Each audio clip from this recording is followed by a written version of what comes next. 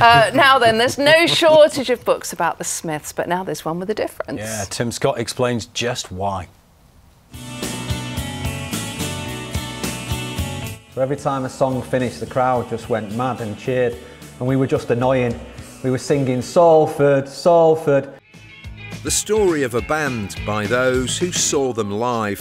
Screenwriter Chris Green is just one of dozens of fans whose recollections have been compiled in a new book, The Smiths, The Day I Was There. So we pushed onto the stage, a big mob of us, and as we pitched forward, the stage collapsed. And I can vividly remember going head first towards Mike Joyce's drums. I would go out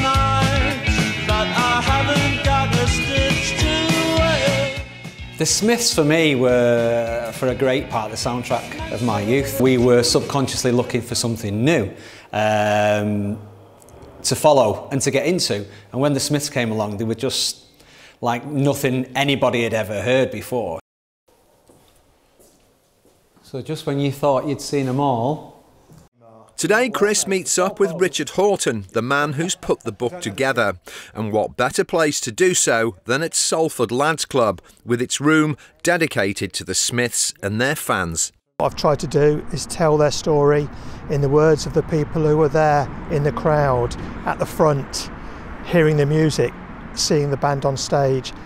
It was me on drums, Johnny on guitar, and Morrissey came along, but I didn't like the cut of his jib. There were a couple of songs recorded, including Suffer Little Children, about the Moors murders, which was very morose, and I just thought, oh, what is this?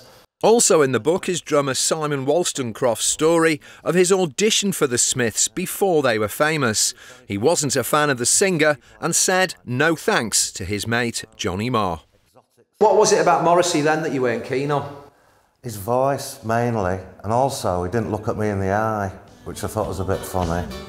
And I didn't like what he was uh, wearing either. He had a shabby um, kind of raincoat on and winkle pickers. The Smiths, The Day I Was There, is published next week. Tim Scott, ITV News, Manchester.